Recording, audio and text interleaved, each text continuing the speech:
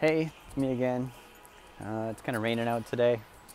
I'm gonna go out and get some groceries at the market, and I'm toying with the idea to try to show like one or two things every day that's kind of different about my life here in China because there's there's so many different things. It's like, it's like a different world. This is this is one of the things I, I showed in my last video. Here's a, another little waterfall in our subdivision. They turn the fountains on somewhere around like 10 in the morning, 11 in the morning, and then about 4 or 5 at night. Like uh, when everybody's leaving for work or coming back home. It's kind of healthy, but they don't, they don't have them run like all day. And then, uh, say I had a couple questions about the security gates. This, this is what it looks like at the gate. 好，谢谢你，谢谢。See, the guards aren't really guards. They like hold the door open for you and stuff. It makes it feel kind of nice. Like if you have a box or something, they'll open the gate for you. Uh, this part of the gate over here is for the electric vehicles, so they can check in and out. Like this guy, They'll scan their tab, and then the little gate opens, and they drive through. And there's a people gate. Here's, here's the security guards behind me. In the smaller subdivisions, usually at night they're like sleeping, but they kind of monitor the cameras, make sure everything's going okay. So uh, it's, it's kind of nice to have somebody watching over you. Ni hao. Ni hao.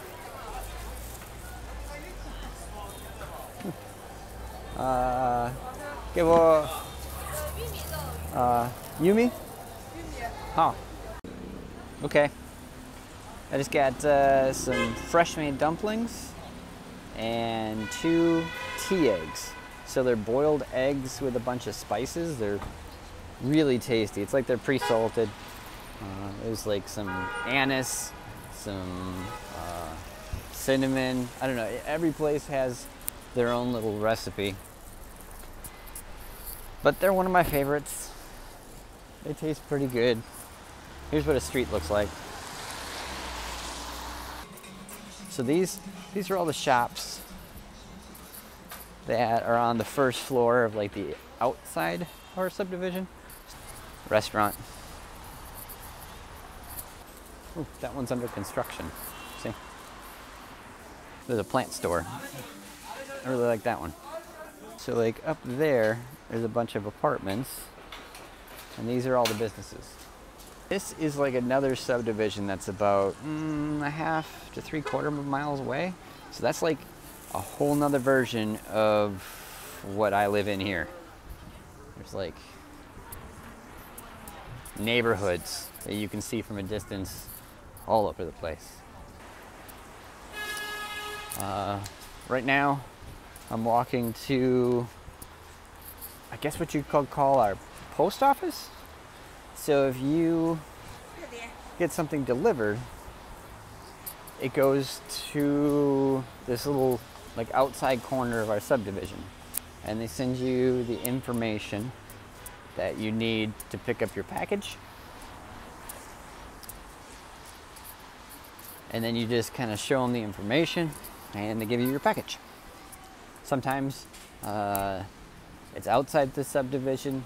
Sometimes they'll try to deliver it to your door. Sometimes uh, there's like these, I guess, community P.O. box, I guess is the best way I could describe it. Um, it's like this wall of lockers and you go up to the screen and you punch in the number that you get the text message for and then one of the doors pops open and you take your package and then you close the door so i think we have two things coming today i got a mandarin learning book or three of them that i bought as a package And oh, we bought some some face masks because you need them to ride the subway. So we got like three pink ones and three black ones. Over here, there are a few like shipping container makeshift buildings. That's where some of the packages come. And then here's another, this is where the other packages come. And they come on these little delivery trucks. Super small but efficient. Uh, no big UPS trucks here. Uh, at this level, they're all really small. Okay, I got my packages. Uh, I got them from these tents. So that's the thing. Like I said, you just kind of go for it and the cars drive around you. So there's another unique thing about picking up your packages. Uh, recycling is a really big thing in China. And not just like recycling the products, they'll recycle uh, without breaking the things down. So, like when you buy the oil from the market, you use rewashed plastic water bottles, pretty much. So it's very common for people, like the, the older population, to walk around collecting uh, recyclable materials. Um, but people go around and collect uh, anything that's recyclable out of the garbage. It's usually you set it next to the garbage so they don't have to like pick through the garbage. But like I said, recycling is a really big thing around here. And they make it uh, valuable to make sure that the recycling doesn't get thrown out. And I say this because the other day I picked up my computer chair. Came in a big box, right? And there was this little old lady. She was really nice. And I kind of like pointed at it. I pointed at her. And they have carts. So they'll help you bring your package from the place you pick it up to your apartment as long as you give them the cardboard the box came, that the cardboard box that it came in. Which sounds kind of weird, but uh, you know, it's valuable. So the lady popped my chair on a cart and brought it all the way to my door. And we, I gave her all the cardboard. I think it, I think it was a really fair trade. I need to throw the cardboard out anyway. So um, that's one way they collect it. The other way is, you know, if, if I would have brought it to my apartment myself, they don't really have dumpsters. Um, outside every building, there's like three garbage cans, like regular garbage cans. Like everybody has one for the, their house, like back home. But they empty them uh, pretty consistently all day in these little little trucks. Crossing the street in China, kind of just go for it. Uh, the cars stop for you; they have to uh, by law. So you could be completely not paying attention as long as you're in a crosswalk. You just cross the street. And no matter how fast the cars are going, they stop. It takes a little bit of getting used to, but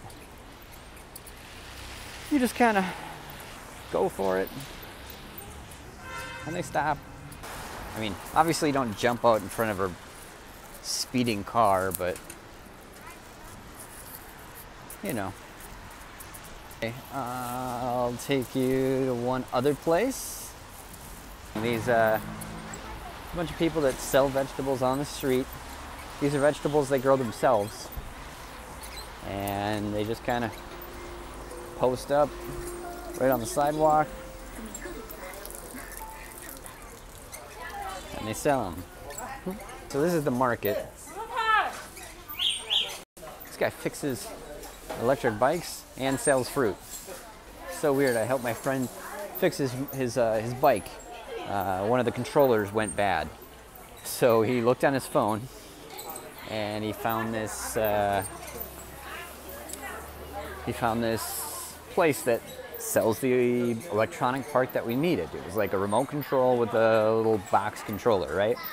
So we walked to my food market where I always buy my food. I didn't even know this guy fixed uh, electric bikes or, or, like sold anything. And he's like, yeah, this guy. I'm like, what? He, he sells fruit. And he's He runs to the back and he comes back out and he had the right part. We fixed his bike.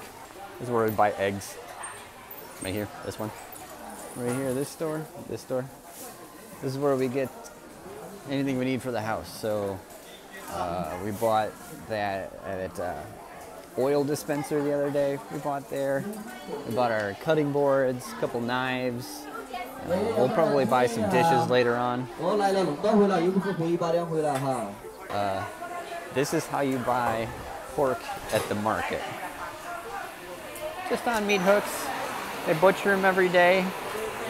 They hang them. There's some chickens. We're, we, we've started to buy freshly uh, uh, slaughtered chickens. So I'm here in the morning. Most of this meat will be gone like halfway through the day. Everybody buys everything, so the earlier you get here, the fresher the vegetables. This is all the vegetables, kind of like a farmer's market. And it, it's enclosed, like there's a ceiling, fruits. There's on the other side too. smells really good here.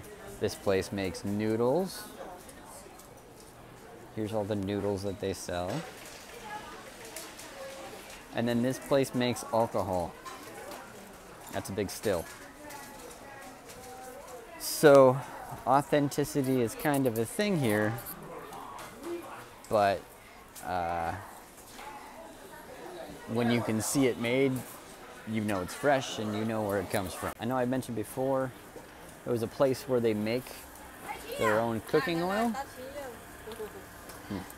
Oh, and they recycle the bottles. So here, these are people that get bottles, bring their own bottles, and this is the mill. So this is the place that makes the oil, and then he filters it a couple of times. I forget where I bought the chicken.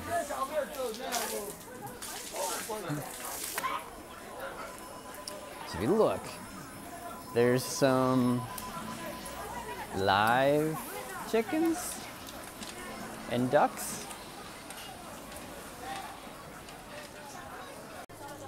Okay, I got it. There were two chicken breasts, and they came off the same chicken today.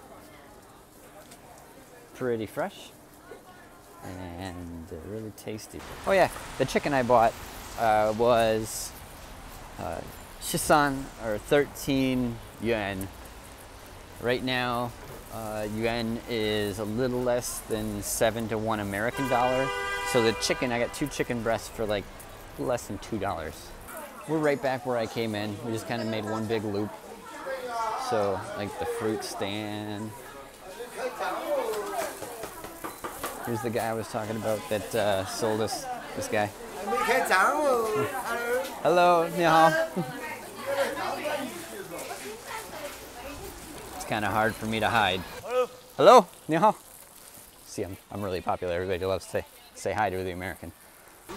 I'm like the only blonde guy here ever. So, actually, I think I'm the only American in the whole subdivision. There's only like less than 10 foreigners in our whole city block. So, so I'm pretty popular. Everybody knows. Everybody knows me. Hope you liked it.